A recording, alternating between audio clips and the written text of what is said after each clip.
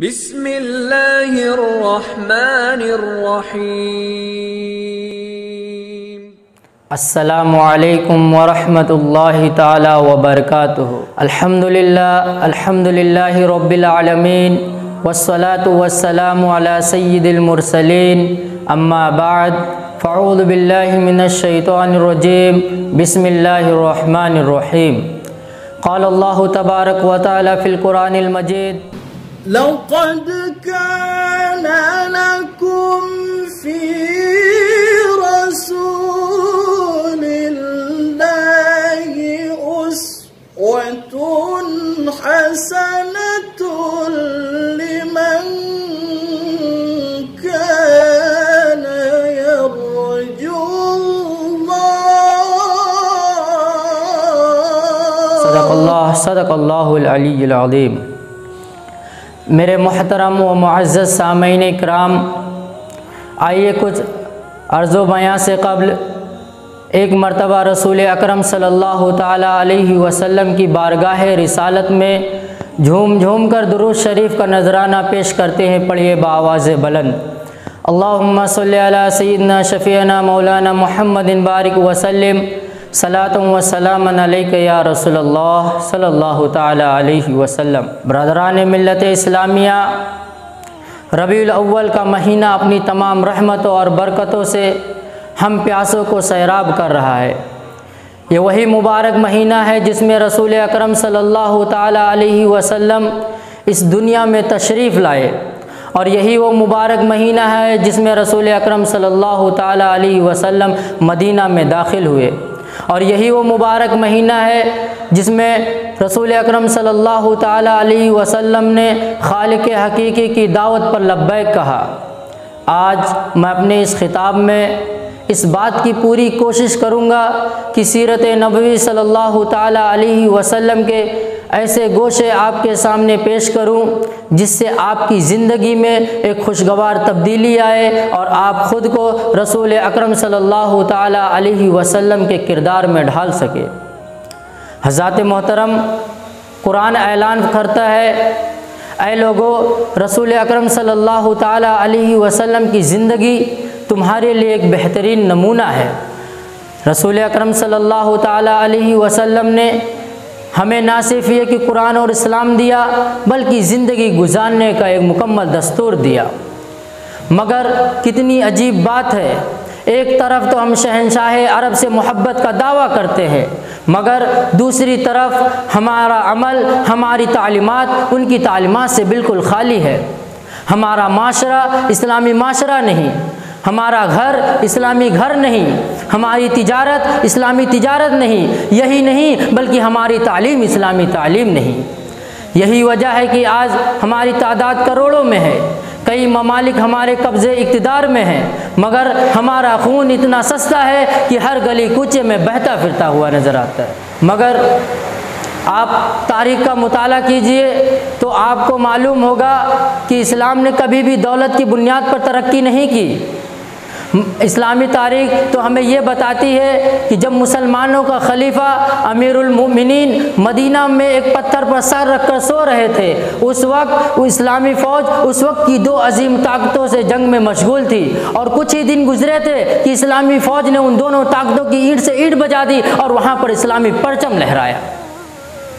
जब हमारा खलीफा पेवंद लगे हुए कपड़े पहनता था तो उस वक्त हम दुनिया के सामने सर उठाकर जीते थे। क्यों? क्योंकि उसका सीना कुरानी तालीमत से बिल्कुल पुर था।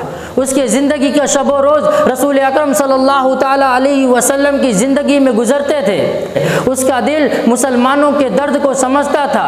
हज़रत मोहतरम, मगर आज नाम नहाद सरबरान ममलिकत का क्या हाल? एक मुस्लिम मुल्क दूसरे का दुश्मन बन गया है। आज हर चहार जानब हज़ारों मुसलमानों को मौत के घाट उतार दिया जाता है मगर किसी भी लीडर के आँख में आँसू नहीं आते। उनकी मदद करने को कोई नहीं आगे आता। हाँ उन्हें सिर्फ़ एक चीज़ से प्यार है और वो दुनिया है वो है दुनिया की बेदौलत कीमत और उसका इकतदार। हज़रत मोहतरम मुसलमानों याद रखो जब तक हमारी आपस की लड़ाई ख़त्म नहीं होती तब तक हम दुनिया में यूँ ही जलील ख्वार रहेंगे। हज़रत मोहतरम कामयाबी की बस एक ही ज़मानत है, और वो है रसूल अकरम सल्लल्लाहु अलैहि वसल्लम की मुकम्मल पैरवी। रसूल अकरम सल्लल्लाहु अलैहि वसल्लम ने इरशाद फरमाया कि अल्लाह तबारक व ताला ने मुझे आला अखलाक और आला तालीम को मुकम्मल करने के लिए भेजा।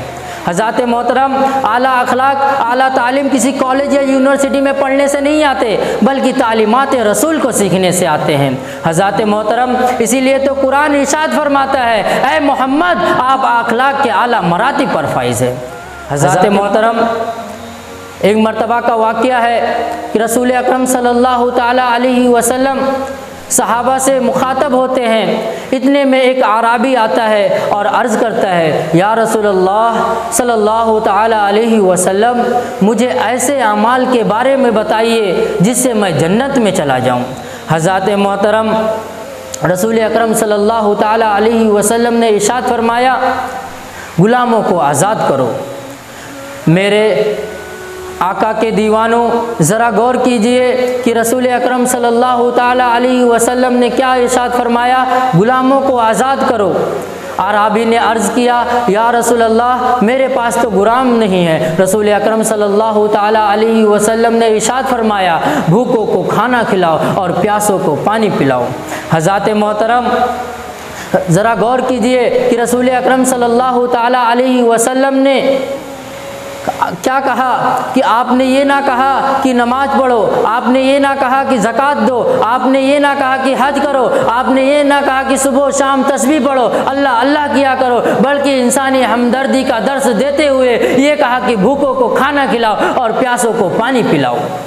हज़रत मोहतरम मैं ये बात पूरे दावे और पूरे ज़िम्मेदारी से कह सकता हूँ कि आप दुनिया के बड़े बड़े हुक्मरान की ज़िंदगी का मुताला कीजिए और आखिर में आइए, रसूल अकरम सल्लल्लाहु अलैहि वसल्लम की ज़िंदगी का मुताला कीजिए तो आपको मालूम पड़ जाएगा कि इंसानी हमदर्दी जो जहाँ मौजूद है, वो दुनिया में किसी भी लीडर के पास नहीं मौजूद है।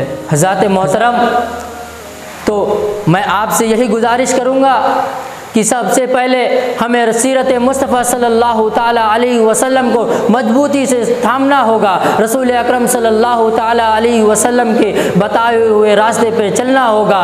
यही हमारी कामयाबी की ज़मानत है। तो मैं अपनी मुख्तर से ये गुफ्तु को यहीं समेटता हूँ और अल्लाह तबारक व ताली से दुआ करता हूँ कि अल्लाह तबारक व ताली हमें रसूल अकरम सल्लल्लाहु अलैहि वसल्लम की मुकम्मल पैरवी करने की तौफ़ी अता फ़रमाए। व आखिर दावाना